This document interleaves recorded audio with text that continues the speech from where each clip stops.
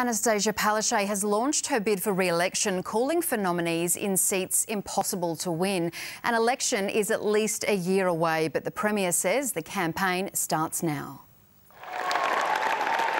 It looked like an election campaign and it sounded like one too. I saw the Prime Minister Malcolm Turnbull on TV this week.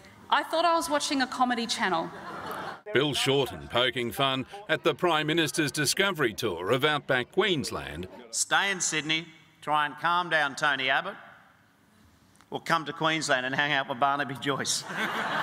and the Premier going zinger for zinger. I had to laugh when Tim Nicholls became the LNP leader and announced his new shadow cabinet.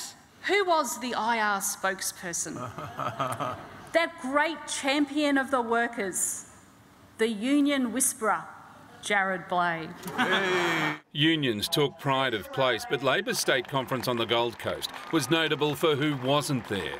Transport Minister Stirling Hinchliffe stayed in Brisbane tending to the trains crisis, so no one remembered last weekend when he went to a car race instead. We know they want to get rid of Stirling Hinchliffe but Annastacia Palaszczuk is not strong enough a leader to do that. The last time the Premier was here, she just won an election. The next time, she'll be due to fight another. And that campaign started today. I need a majority government to do more for this great state of ours, to do far more.